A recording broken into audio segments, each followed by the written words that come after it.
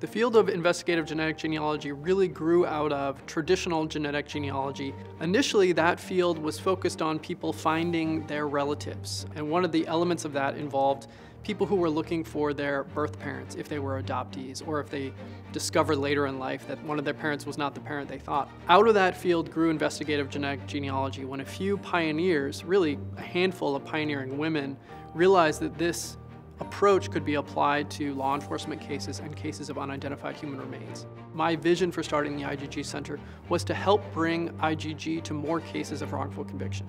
My background prior to coming to Ramapo was working as a wrongful conviction attorney, and I wanted to see this new methodology providing justice in those cases, as well as helping to lock up the correct person. So we have three missions. The first is to provide expert IGG education the second is to provide pro bono IGG casework. And the third is to provide imaginative research. And really the focus there is expanding the use of IGG in new domains. The Investigative Genetic Genealogy Center at Ramapo College is where we perform casework, education, and research in the field of investigative genetic genealogy. So our students in the IGG Center get to work on real cases and apply their learning in IGG to actual unsolved homicide cases and unidentified human remains. The IGG certificate program at Ramapo College is a 15-week online program where students, mostly adult learners, learn how to apply IGG skills to real cases. So the first 10 weeks of the program is online learning, it's two classes a week, and then the last five weeks of instruction is applied learning on a real, unsolved, unidentified human remains case. So our students that have just learned how to perform IGG in class are now going to use those skills on a real case, and they've solved already a dozen cases. When you are a student here in the certificate program, you are working on real cases. These are not cases that have been pre-solved for you. This is the students coming in and taking all of the pieces, all of the steps that Karen and David have put together and planned for them and taught them and working an actual case. Our students come in with a broad range of experience. Some of them have never even looked at ancestry DNA or ancestry trees before, and others have been in genetics or in the lab or in law enforcement. So the certificate program allows all of these students with these broad experiences to learn from each other and to take those pieces and work on these cases together as a team.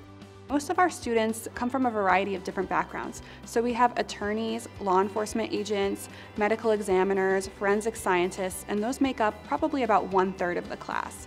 Then we also have hobby genealogists, retirees, stay-at-home moms, a lot of people that are taking the class just to get another credential under their belt. And all of these great team members come together to make the best teams and solve dozens of cases.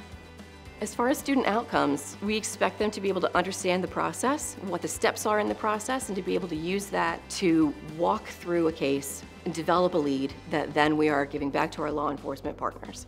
The volunteer work that is done at Ramapo College is extensive and it is critical to what we do at Ramapo College.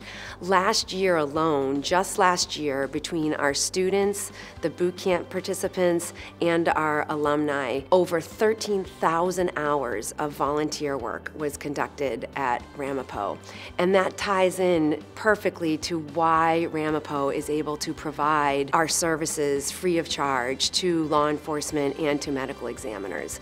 We wouldn't be able to do that without our dedicated and hardworking volunteers.